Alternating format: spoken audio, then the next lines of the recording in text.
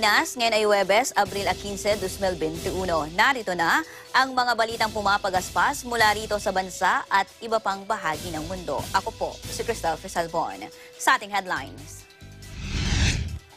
Armed Forces of the Philippines magde-deploy ng tatlo pang Navy base vessels sa West Philippine Sea sa harap ng tumataas na aggression ng China sa lugar.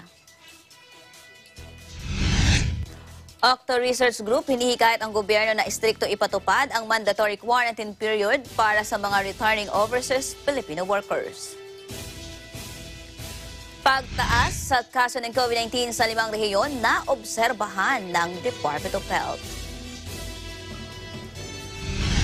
Sa balitang pulis, 122 million pesos na halaga ng shabu nasabat sa isinagawang bypass operation ng PDEA, anim na sospek na aresto.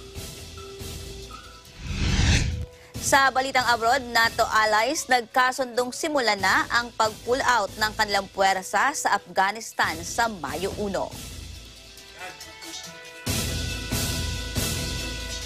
Sa detalye ng ating mga balita, dahil sa patuloy na pambubuli at militarisasyon sa West Philippine Sea, pinaghahanda ni Senator Francis Pangilinan ng gobyerno sa pagdulog sa United Nations at Association of Southeast Asian Nation. Ito ay kapag umalma ang tensyon o lumala ang tensyon sa West Philippine Sea dahil sa pagdedeploy ng China ng mga barko nito doon. Ayon kay Pangilinan, kailangan gawin ng gobyerno ang lahat ng diplomatikong paraan dahil sa paglabag ng China sa mga karapatan ng Pilipinas. Dapat rin aniyang igiit ng gobyerno ang sovereign rights sa exclusive economic zone ng bansa batay sa ruling ng Arbitral Tribunal. Magde-deploy ng tatlo pang Navy vessels sa West Philippine Sea ang Armed Forces of the Philippines sa harap ng tumataas na aggression ng China sa lugar. Sa isang panayam, sinabi ni AFP spokesperson Major General Edgard Arevalo na iniutos ni AFP Chief of Staff General Cirilito Subihana ang augmentation ng assets sa pinagtatalunang teritoryo. Sinabi ni Arevalo na patuloy na magpapatrolya sa West Philippine Sea hanggang hindi tumitigil ang Chinese vessels sa illegal na pangingisda sa teritoryo. Noong Martes, nag-deploy ng apat na Philippine Navy vessels ang AFP sa pamamagitan ng Western Command, kabilang ang BRP Dagupan City, BRP Apolinario Mabini PS-36, BRP Magat Samat SP-20 at BRP Miguel Marbar PS-19. Magkakaloob ng suporta at tulong ang nasabi mga Navy vessels sa Philippine Coast Guard at Bureau of Fisheries and Aquatic Resources o BFAR. Sa iba pa nating balita, hinikayat ng Octa Research Group ang gobyerno na istriktong ipatupad ang mandatory quarantine period para sa mga returning overseas Filipino workers o ROF. Sa isang panayam, sinabi ni Dr. Giado David ng Octo Research Group na kailangang ipatupad ang 14-day isolation o higit pa para sa mga umuuwing OFW sa harap na rin ng banta ng panibagong variants na nasumpungan sa ibang bansa. Sa report, may bagong coronavirus variant na na-detect sa Western Brit Brittany region sa France na mahirap madetect kahit ng PCR test, ngunit hindi pa itinuturing na mapanganib at nakakahawa. Sinay pa ni David na magastos at nakakaini para sa ROF. Umiiral na bilang standard practice ng mga bansa ang mandatory quarantine. Ilan sa mga naitalang kaso ng COVID-19 na mula sa ibang variants ay unang na-detect sa United Kingdom, South Africa at Brazil. Gayon din ang P.3 na unang naitala sa Pilipinas. Posibleng sa susunod na linggo pa magsisimulang makita ang epekto ng ipinatupad na ECQ sa Metro Manila at karatig na lalawigan. Kaya asahan pa rin ang mataas na kaso ng COVID-19. Ito ang ipinabatid ni Health Undersecretary Maria Rosario Berhere. Aniya, may ilang laboratorio ang hindi nag-ooperate kaya may mga araw na mababa ang kanilang naitatalang kaso. Si Madeline Villar Moratillo sa detalye.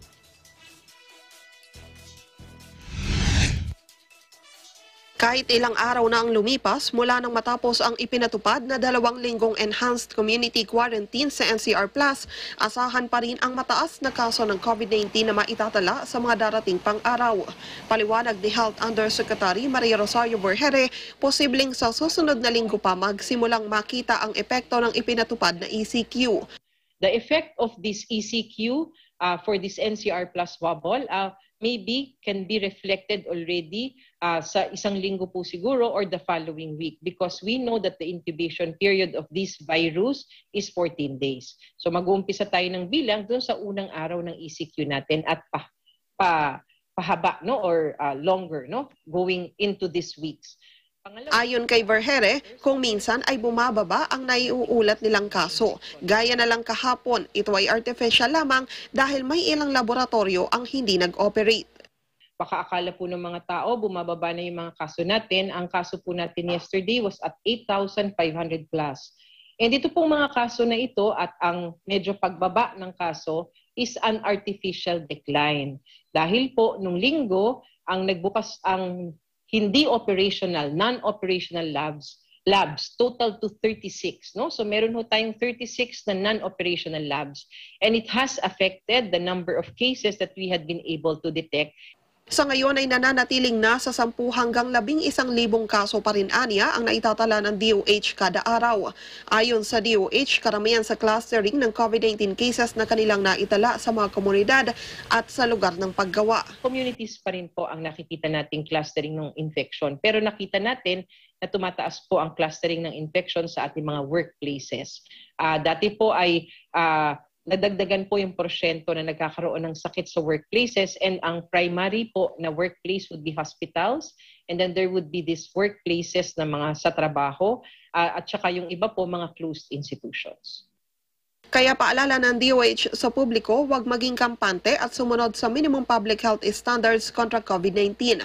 Muli namang tiniyak ng DOH sa publiko na bago sila magrekomenda ng quarantine status, ikinokonsidera din nilang mabuti ang epekto nito sa ekonomiya. Paliwanag ni Vergere kung patuloy na paiiralin ang mahigpit na quarantine measure, mas maraming sakit ang maaaring lumutang.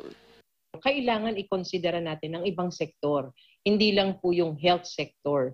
We have to look at the economic sector also because economic, econo- economically and socially, the lockdowns affect Filipinos kasi nag impact din sa health. Nagugutom po sila, wala po silang trabaho. Both mental and physical health are affected also. And that is part of the consideration of IATF. So when we have low cases, this is the appropriate time for us to do some preparing. This is the appropriate time also for us to uh, try and open up other sectors so that people may earn their living. So hindi po pwede na lockdown forever ang isang lugar. Kung hindi po, lalo po tayo magkakaroon ng problema sa kalusugan. Dahil aside from COVID-19, lalabas na yung mga ibang sakit at lalo pong marami pa hong magugutom at maaring mamatay sa gutom. Para sa Eagle News, Madeline Villar Moratillo, we live in interesting times. Binigyan pansin ng Department of Health ang pagtaas sa kaso ng COVID-19 sa limang rehiyon sa harap ng pagbaka ng bansa upang sawatain ang panibagong paglobo ng infeksyon. Sinabi ni Health Undersecretary Maria Rosario Berjere na bukod sa Metro Manila, nakitaan ang pagtaas ng kaso ang Ilocos Region, Cagayan Valley, Central Luzon, Calabarzon at Cordillera Region. Sabi ni Berjere, nakitaan na ng pagtaas sa kaso ang ilang lugar bago pa man mag-umpasa ang NCR Plus bubble. Kaya't apektado na rin ang healthcare utilization sa nasabing mga lugar. Naunang iniulat ni Treatment SAR Health Undersecretary Leopoldo Vega na tumaas ang hospital occupancy sa Regions 3 at 4. Nakapagtala ang Department of Health ng 8,122 na bagong kaso ng COVID-19. Dahil rito, umakyat na sa 892,880 ang kabuang kaso ng COVID-19 infection sa bansa. Pero sa bilang na ito, 173,047 ang aktibong kaso. May 501 naman na naitalang bagong gumaling mula sa sakit. Sa ngayon, umaabot na sa 704,386 ang kabuang bilang ng mga nakarecover sa bansa mula sa COVID-19. May 162 naman na naitalang bagong nasawi dahil sa virus. Sa ngayon, umakyat na sa 15,447 ang kabuang bilang ng mga nasawi sa bansa dahil sa COVID-19. Nakapagtala ang Department of Foreign Affairs o DFA ng apat lamang na bagong kaso ng COVID-19 sa hanay ng overseas Filipinos. Ayon sa DFA, umaabot na ngayon sa 18,005 ang kabuang COVID-19 cases sa mga Pilipinong nasa abroad. Sa bilang na ito, nasa 5,850 lamang ang active cases at 4,042 rito ay verified na ng DOH IHR. Apat din na lang na italang bagong gumaling mula sa virus, kaya umakyat na sa 11,042 ang recoveries. Nananatili naman sa 1,113 ang namatay dahil sa COVID-19. Mas mataas ang naitatalang COVID-19 recovery sa Philippine National Police o PNP. Sa tala ng PNP Health Service, nadagdagan ng 171 na bagong gumaling mula sa virus. Kaya pumalo na sa 15,554 ang kabuang bilang ng mga gumaling. Samantala, 162 ang bagong kasong naitala sa pambansang pulisya. Kaya pumalo na ngayon sa 18,073 ang confirmed cases. Sa bilang na ito, 2,472 na lamang ang active cases. Nananatili naman sa 47 ang mga namatay dahil sa COVID-19. Inalis na sa Intensive Care Unit o ICU si dating Pangulong Joseph Estrada at ililipat na sa non-COVID-19 area sa madaling panahon. Ito ang inihayag ni dating Senador Jingo Estrada sa kanyang social media account matapos sabihing negative na sa COVID-19 ang kanyang ama. Sinabi ni Jinggoy na nanatiling naka-oxygen ang kanyang ama ngunit hindi na naka-high flow kundi sa pamamagitan na lamang ng nasal canola. Wala na rin ani ang lagnat ang kanilang ama at bumalik na rin ang gana sa pagkain well-oriented din at nakakausap ng normal ang dating Pangulo. Muling hinihiling ng panalangin sa publiko si Jinggoy para sa tuluyang pagaling nito. Nagpapasalamat din sila sa mga patuloy na nagpapahatid ng suporta at panalangin sa kanyang ama at sa iba pang may sakit din ng COVID-19. Ang iba pang mga balita sa pagbabalik ng Agila, Pilipinas.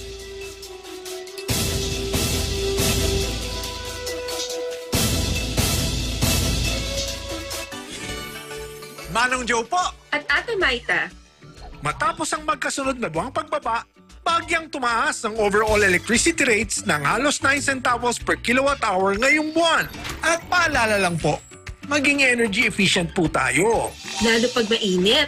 Dahil mas hirap ang appliances at mas makonsumo. Buti may bright ideas tayo na based sa Meralco Power Lab tests. Engineer Alfred, Alam nyo ba, ang lumang aircon, mas mataas ang konsumo. Up to 682 pesos ang dagdag kada buwan kumpara sa bago. Mas energy efficient kasi ang technology ng bagong aircons. At kung inverter, pwedeng lampas 1,000 pesos ang savings per month. Piliin din yung may horsepower na sakto sa laki ng kwarto. Kung hindi, halos 1,000 ang extra gastos buwan-buwan. sundan ang tips na to. And visit our website para You have the power this summer. Sila ang mga kinikilalang bayaning may mahalagang papel para makamit ang kalayaan at pagbabago sa Pilipinas. Pero sa panahong ito, may mga bagong bayaning nakikipaglaban sa sakit na lumaganap sa buong daigdig, ang COVID-19. Ang ating mga frontliner gaya ng healthcare workers, mga doktor, nurses, medical technologists, at iba pang health professionals, mga pulis, sundalo, security guards, mga tauhan na nangangalaga sa seguridad at mahahalagang pangangailangan ng bawat komunidad. Ang mga bagong bayani ating pasalamatan. Kilalanin ang kanilang sakripisyo at serbisyo para sa lahat.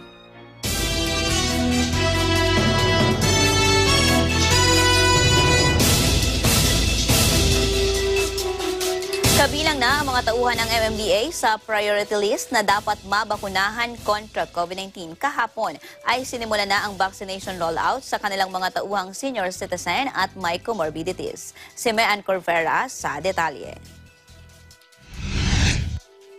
Sinimulan na rin ng Metro Manila Development Authority ang pagtuturok ng bakuna sa mga empleyado nitong senior citizens at may comorbidity. Sinaksihan ni MMDA Chairman Benhar Abalos ang unang araw ng vaccination kung saan unang naturukan ang 61 anyos na si Rene Gomez. Sinabi ni Abalos na humingi na sila ng tulong sa Department of Health para maisama sila sa priority list dahil sa patuloy na pagtaas ng kaso ng mga empleyado na nagpo-positibo sa virus. Araw-araw kasi ang kanilang mga empleyado prone sa banta ng virus. Humingi kami ng tulong sa DOH para mabakunahan ang aming mga frontliners, lalong-lalo na ang aming mga traffic enforcers, ang mga nasa clearing at nasa field. So kung makikita nyo, nandito sila ngayon. Pero susunod kami sa priority ng gobyerno. Ang uunahin ay ang mga senior citizens, pagkatapos ang medical frontliners, yung mga nandun. So sinusunod namin yung priority list ng A1 and 2 A3. Kasama, dadalawa lang ang doktora namin, ha? si Doktora Alzona at si Doktora Olbina. Dadalawa lang, pero meron kami mga tiga turok dito, tiga inoculate, yung aming mga nurses at yung mga sanay sa mga disaster. So pinagkasya na lang namin ang mga ang mga manpower po namin dito, no? Sana maunawaan dahil talagang kawawa ang mga empleyado ng MMDA at nasa harap sila ng tao araw-araw. Inuna namin yung mga nagbabakuna ngayon. Hanggang ngayong araw, nasa 771 na sa may 8,000 empleyado ng MMDA ang nagkaroon ng COVID-19. Walo sa mga biktima ang namatay habang nasa isang daan ang active cases na nasa isolation area. Dalawandaang empleyado kada araw ang target na maturukan ng Sinovac. Iginit ni Abalos na mahalaga ang bakuna para protektahan sa grabing epekto ng COVID-19 at proteksyon sa kanilang pamilya. Contact sa tao, araw-araw nasa nasa field. Naka-isolate ngayon po 'yon. Naka-isolate. Oo. Importante 'yun dahil ang ang one command center nandito sa amin, eh, ang one hospital eh, 'di ba? Kami nag-host. So kung makikita po ninyo, napaka-importante ng ahensyang ito. Una, ano lang kami, eh, traffic, basura, baha, pumasok kami sa pandemic, pero naging wider role nga kami dahil kami ang nag-coordinate sa mga mayor at sa mga national government at sa mayor at sa mga national government. Kaya kung ano maitutulong namin, kamukayang dating traffic namin, nandito na yung One Hospital Command.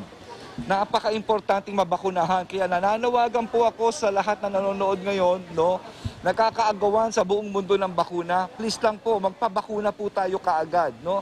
Importante sa lahat mapabakunahan dahil mas paano, hindi lang ang empleyado may proteksyon, kundi ang kasama niya sa opisina at lalong-lalo ng kanyang pamilya. Para sa Eagle News, may Ann Corvera, we live in interesting times. Miria, hiniling na ng Malacanang sa NTF na mapabilang sa A4 priority list para sa anti-COVID-19 vaccine. Si Vic Sumentak sa detalye. Hiniling na ng Presidential Task Force on Media Security o PT Forms sa National Task Force Against COVID-19 o NTF na mapabilang ang mga kagawad ng media sa A4 priority list ng mga mababakunahan kontra COVID-19. Sa liham ni PT Forms, Co-Chairman at Presidential Communications Operations Office Secretary Martin Andanar, kay NTF Chief Implementer at Vaccine-SAR Secretary Carlito Galvez, hiniling niyang makasama sa A4 priority list ang mga media workers, kabilang ang mga public utility drivers, construction workers, vendors at frontline government workers dahil sa kanilang ginagampanan essential rule na maghatid ng impormasyon sa publiko. Ayon kay Andanar, ibinubuwis na mga kagawad ng media ang kanilang mga buhay sa pagtupad ng kanilang tungkulin sa panahon ng COVID-19 pandemic. Maliban kay Andanar, isinusulong din ni na Senador Bongo at Presidential Spokesman Secretary Harry Roque na mapasama sa A4 priority list ang mga kagawad ng media. Para sa Eagle News, Vic Somintak, we live in interesting times. Desisyon ng gobyerno na isama ang media workers sa priority list ng vaccination program. Pinuri sa Kamara. Si Eden Santos sa detalye.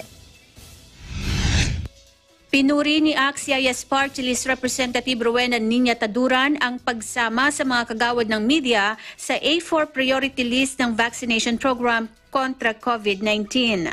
Ayon kay Taduran, akala niya ay pababayaan na ng gobyerno ang mga media na kailangan din ng proteksyon laban sa virus.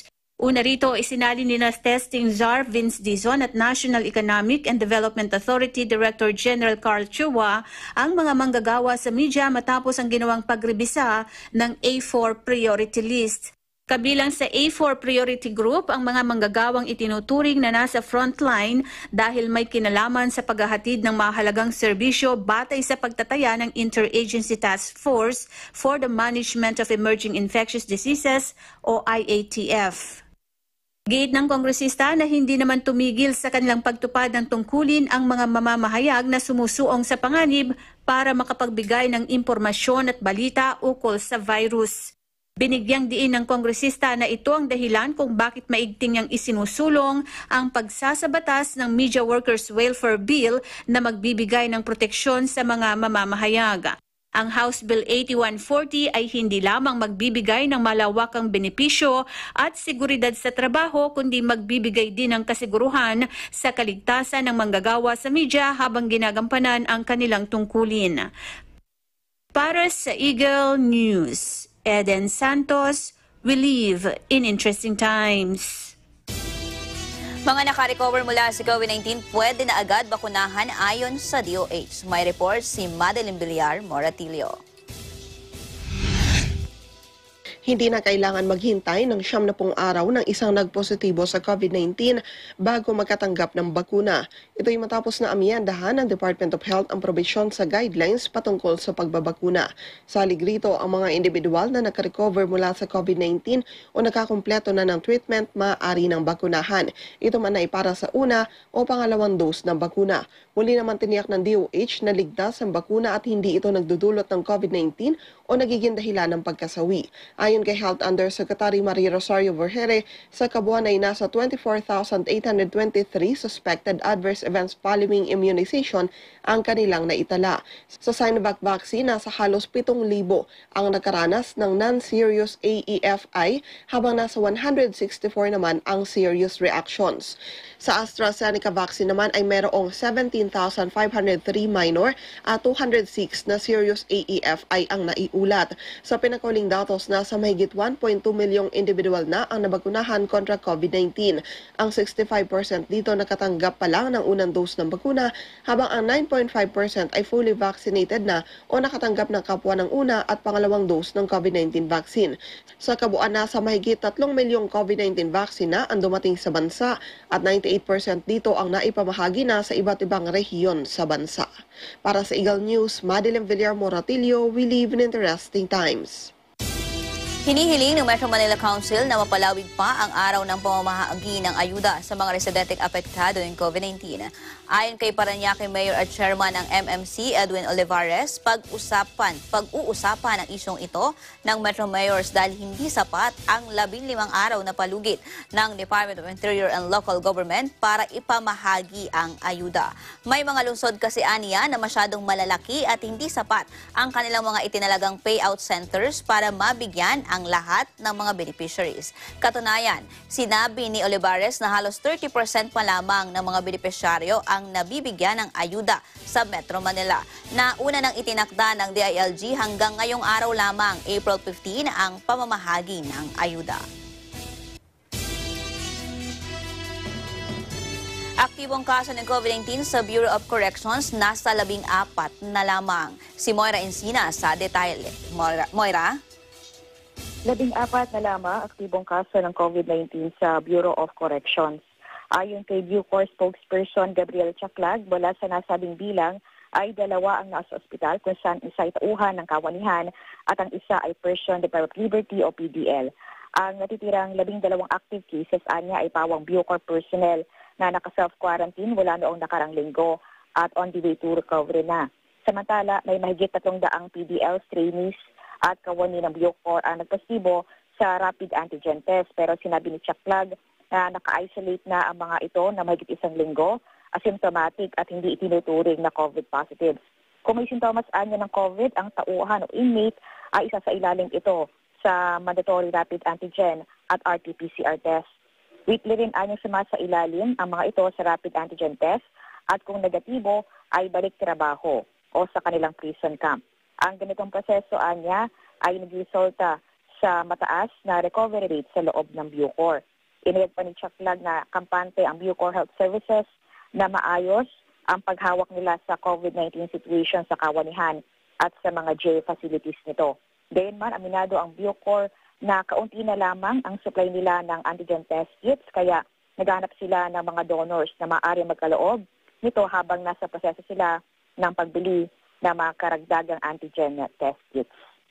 Para sa Eagle News, Moira Insina, Asian Times.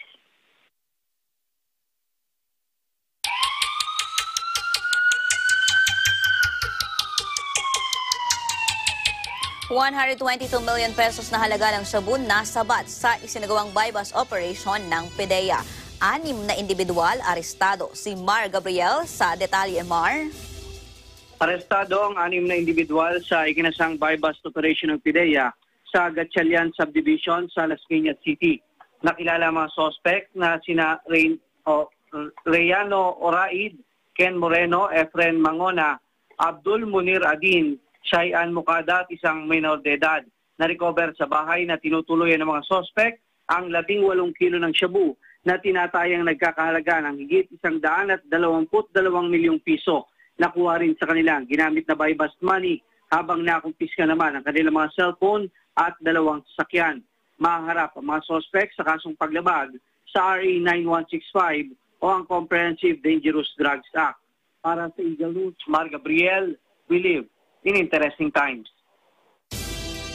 Ang iba pang mga balita sa pagbabalik ng Agila, Pilipinas.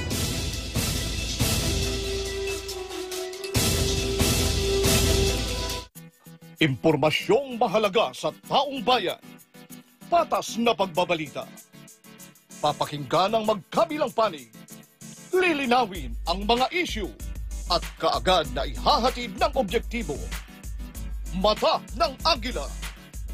Tumadagit ng pinakasariwang pangyayari hindi lamang sa loob ng bansa kundi sa iba't ibang panig ng daigdig. Mula sa Eagle News Teams at sa tulong ng makabagong teknolohiya, tiyak na makakalap ka agad ang katotohanan. Para sa mas matalas, malinaw at malalimang pagbabalita. Ito ang mas pinatalas na mata ng Agila. Inihahatid ng veteranong broadcast journalist na si Eli Saludar. Kasama si Binibining Pilipinas Intercontinental 2019, Emma Tiglao. At pinangungunahan ng batikang mamamahayag ng bansa, Vic De Leon Lima. Mata ng Agila, lunes hanggang biyernes, alas 6 hanggang alas 8 ng gabi. Dito sa Net 25.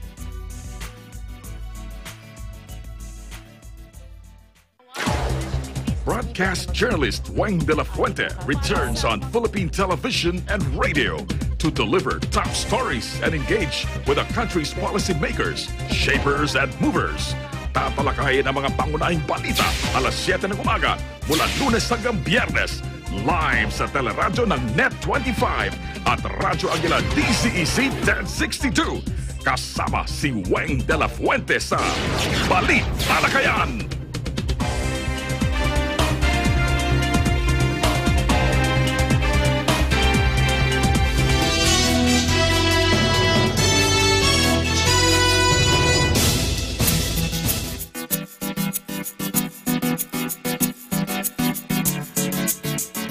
Nagkaroon ng pagbabago sa schedule ng pamimigay ng ayuda sa barangay CCL sa Morong, Rizal dahil sa aberya na naranasan sa pagbibigay nito sa mga kalapit barangay doon.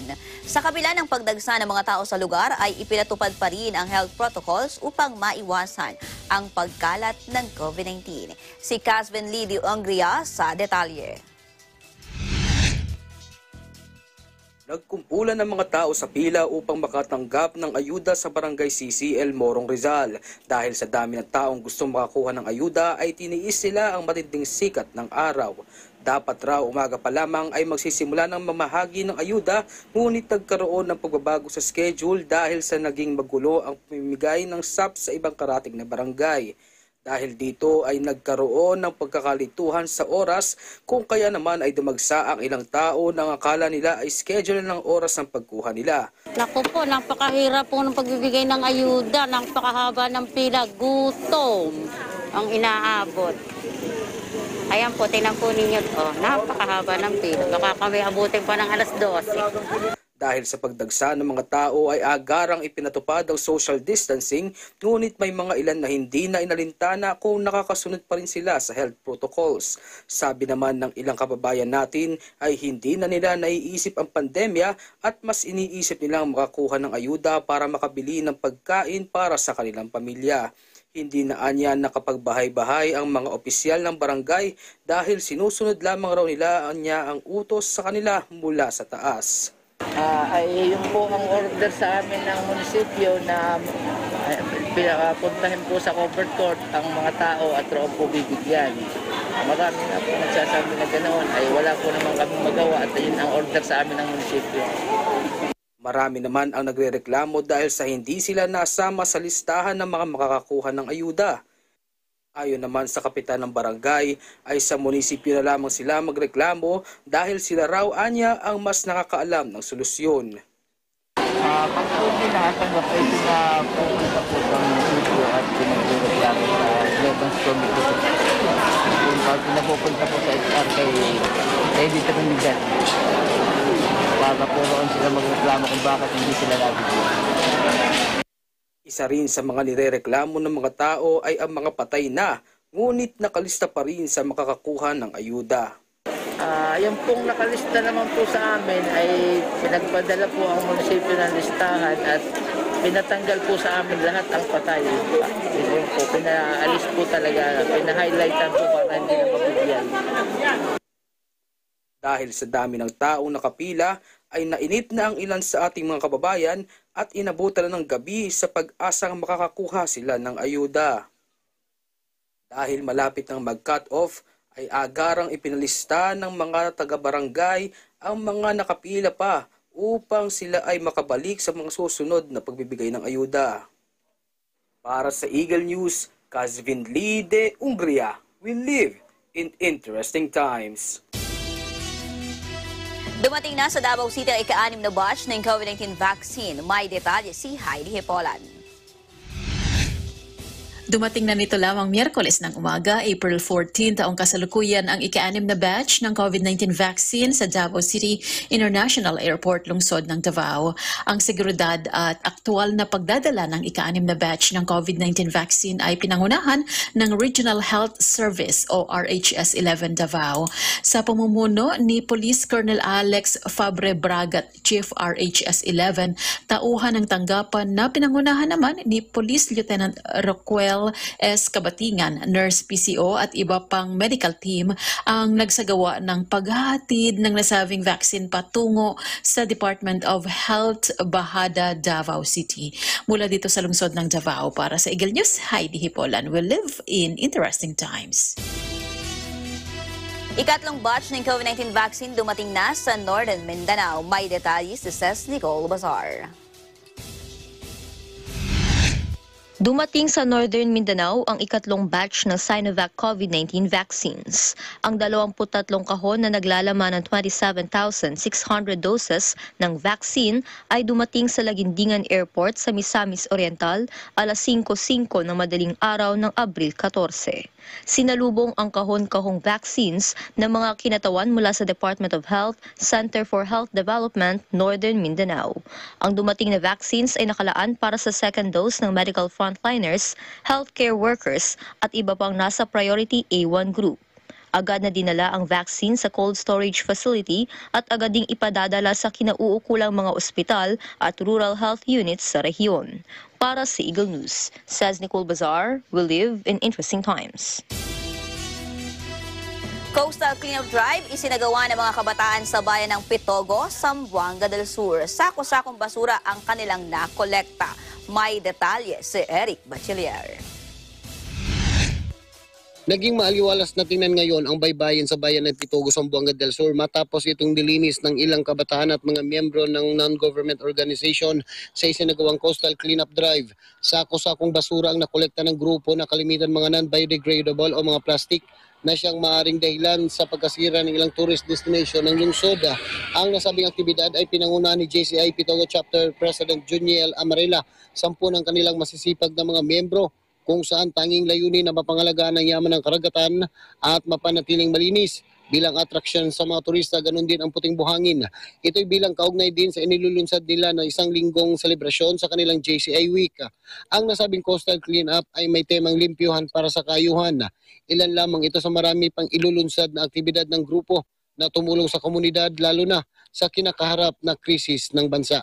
Para sa Eagle News, Eric Bachiller, we live in interesting times.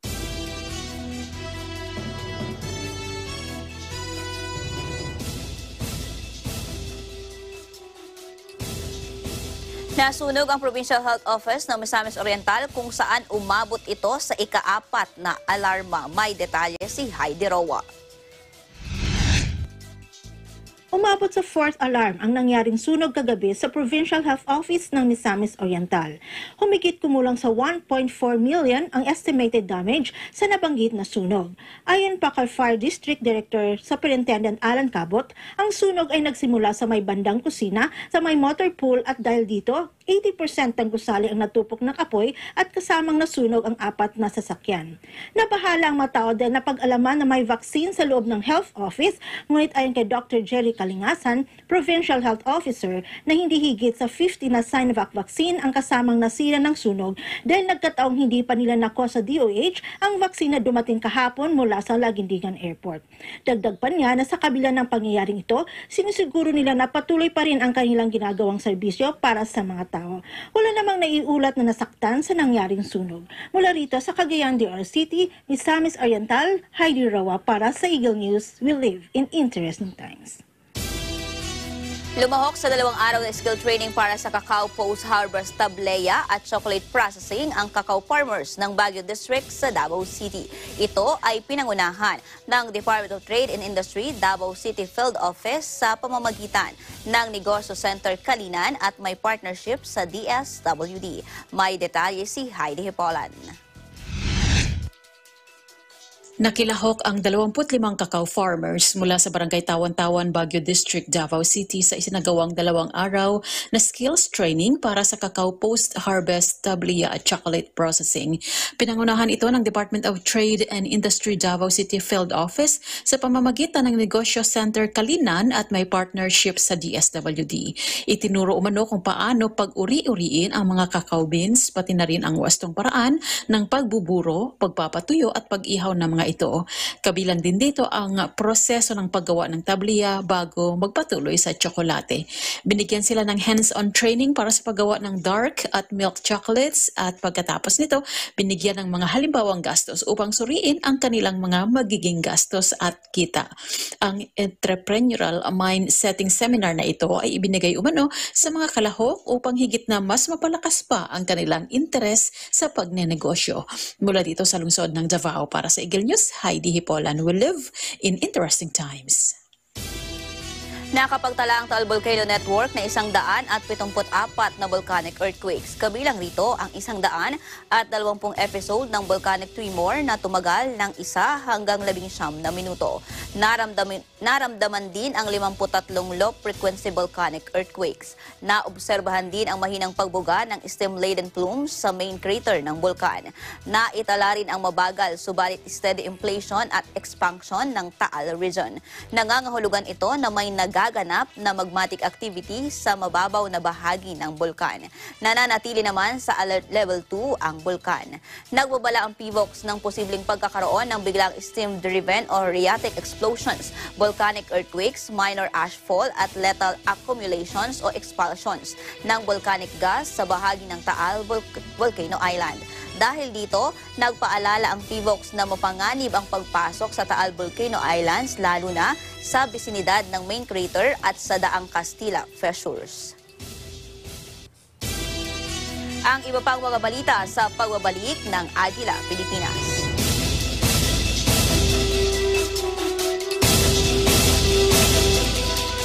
Start up your weekday mornings with edutainment, news, and information kasama ang inyong paboritong Net25 shows. Samahan ang inyong paboritong morning barkada sa Pambansang Almusal at 5 a.m.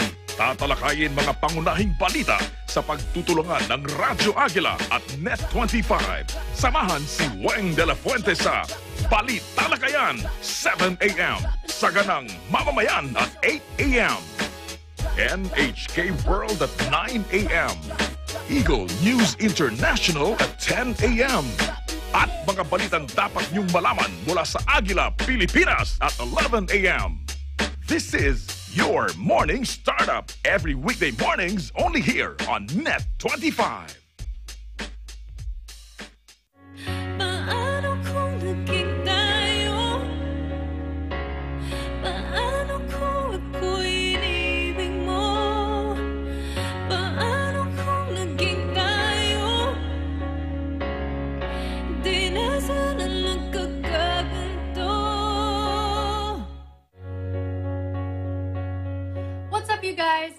Pala si Jada at abangan niyo po ako bilang guest performer sa Letters in Music ngayong darating na Sabado, April 17 from 1 to 2 p.m. Siyempre, dito lamang sa Net25.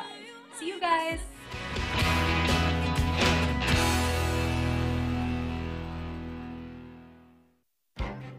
Events happen around us all the time. In our community, in our country, around the world. Events that affect people, move communities, or simply inspire us. Interesting events that people need to know.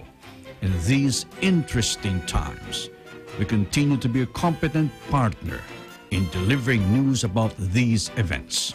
Fast, accurate, balanced. Eagle News because we live in interesting times.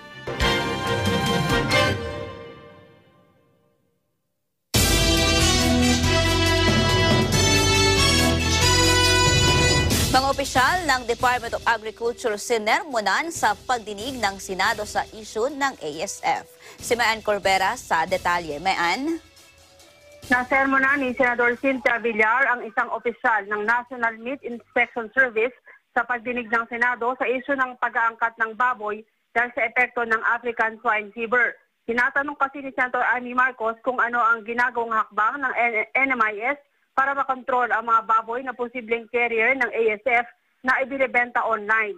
Sabi ni Marcos, dahil sa pandemya, mas tumindi ang bentahan ngayon sa online, pero ang masaklap, ang mga ibinibentang baboy, walang certificate kung dumaan ba sa NMIS, kaya may posibilidad na maaring carrier sila ng virus.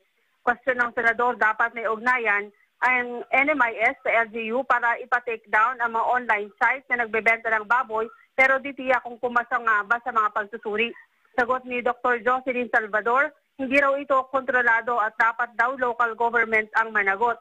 Pero gate ni Marcos, bahagi ng mandato ng NMIS ang disease control. Dito na napikon si Senador Cinta Villar. Sa halip raw kasi na gumawa ng hakbang at sistema, ipinapasa ng NMIS ang kanilang trabaho sa mga LGU. Narito ang bahagi ng kanyang pahayag. po, Senator Amy, Mr. Chair.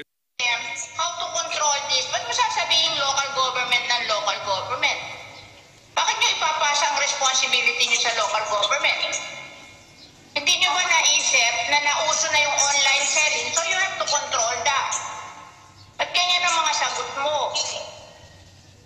Parang pinapasa mo yung responsibility mo sa local government. Ba't mo hindi harapin yung ano? Di sabihin mo kay Senator Amy, na pag-aaralan po namin ito, paano namin i-control control ang online sellers para to make sure na yung kanilang itinitinda hindi nagsasabong ng ASF sa buong Pilipinas. Ganun ang sagot.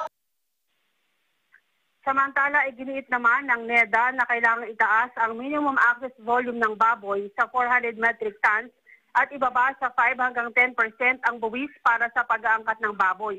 Nagbigay ng assurance si NEDA Secretary Carl Chua na hindi ito magre-resulta ng pagkamatay ng local hog industry. Kailangan daw ito para maging stable ang presyo ng baboy na pumapalo na ngayon sa mahigit 400 pesos kada kilo. Para sa Eagle News, may Ann Corvera, in interesting time. Sa ngayon po ang nangyayari.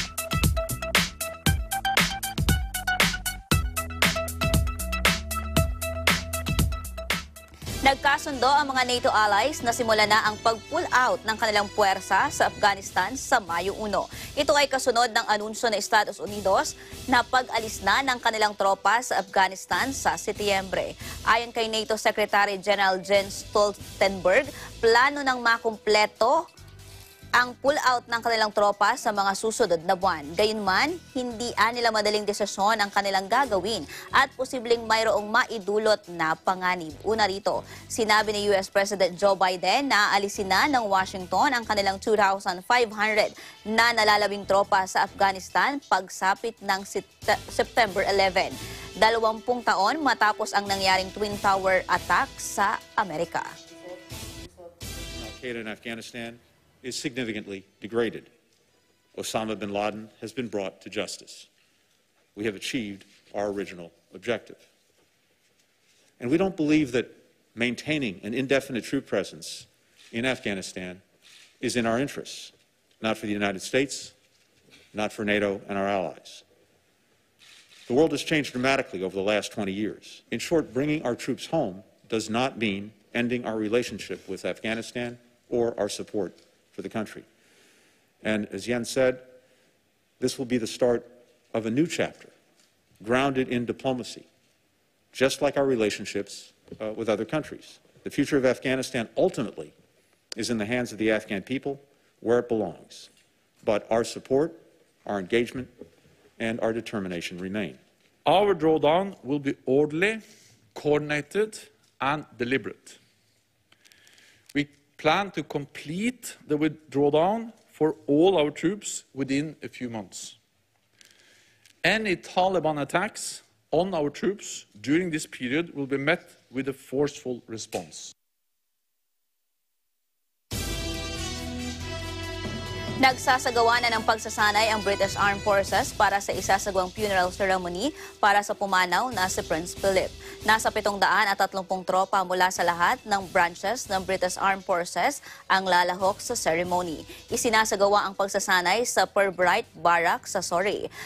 Kabilang sa mga military units na kasama sa parada ang Grenade Guards, Royal Gorkha Rifles, Corps of Royal Electrical and Mechanical Engineers at ang banda ng Royal Marines. Pangungunahan ng Band of the Grenadier Guards ang prosesyon dahil ang Duke of Edinburgh ay naging kolonel ng naturang regiment sa nakalipas na 42 taon. Isasagawa ang funeral ni Prince Philip sa St. George Chapel sa Windsor Castle sa darating na Sabado, Abril 17. Inanunsyo naman ng Moscow na si Sisimula na sa Siberia ang production ng Sputnik V coronavirus vaccine.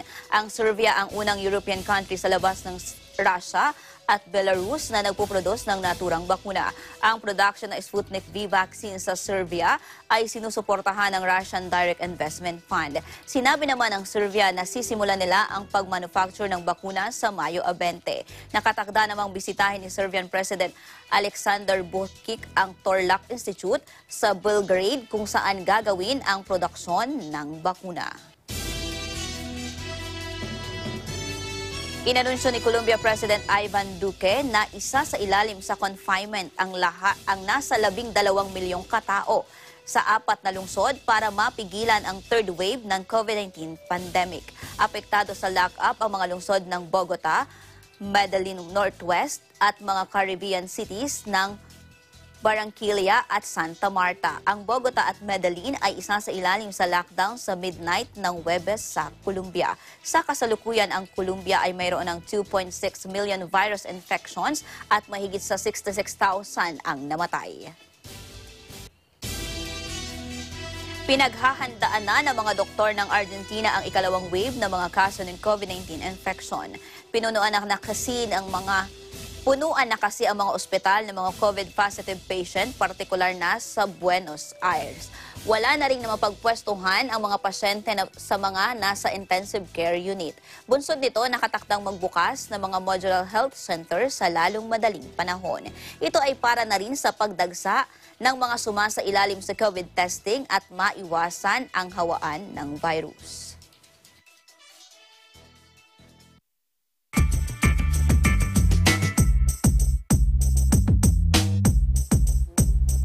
Matapos ang ipinatupad na price ceiling noong April 8, nagtakda naman ng suggested retail price sa frozen pork ang Department of Agriculture. 270 pesos per kilo sa imported pork kasim, 350 pesos naman sa pork liempo. Kaugnay nito, nasa 1,896 live hogs at 41,902 kilograms ng carcasses mula sa iba't ibang rehiyon ang naihatid ng Department of Agriculture sa Metro Manila.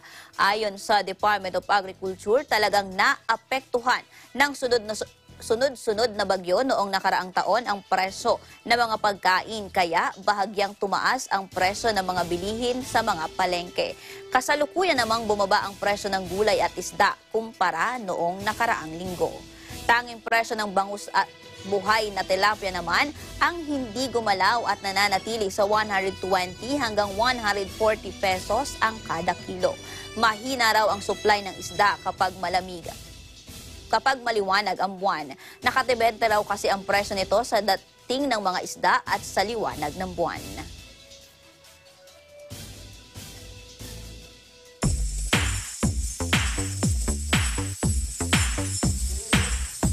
Inamin ni rin ng aktres na si Sunshine Cruz na siya ay nagpositibo sa COVID-19.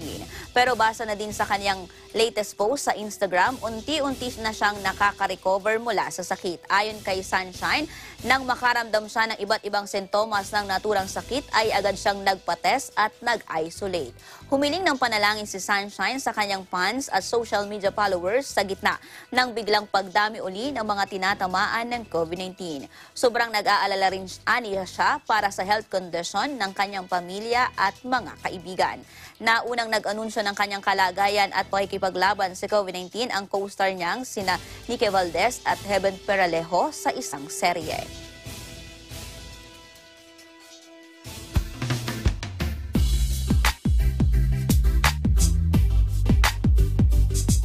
Bahagyang lumakas ang Tropical Storm Sorigay habang halos hindi ito kumikilos. Ayon sa pag-asa, huling namataan ang sentro ng Tropical Storm Surigay sa layong 1,205 kilometers sa silangan ng Mindanao at nasa labas pa rin ito ng Philippine Area of Responsibility. May lakas itong 75 kilometers per hour malapit sa gitna at pabugsong aabot sa 90 kilometers per hour. Tinatayang nasa bahagi ito ng 710 kilometers sa silangan ng Giwan Eastern Samar sa Sabado ng umaga. Tatawagin itong bising kapag nakapasok na ito sa Philippine Area of Responsibility. Para naman sa iba pang balita, tutok lang dito sa Net25 at sundan ang Eagle News Online. Yan ang mga balitang pumapagaspas hatid ng ating mga Agila correspondents sa loob at labas ng bansa. Ito ang Agila Pilipinas. Susunod na ang Happy Time at Lunch with Julie sa Radyo Agila. Sa pangalan ng Eagle News Service, ako po si Cristel Fasalbon will live in interesting times.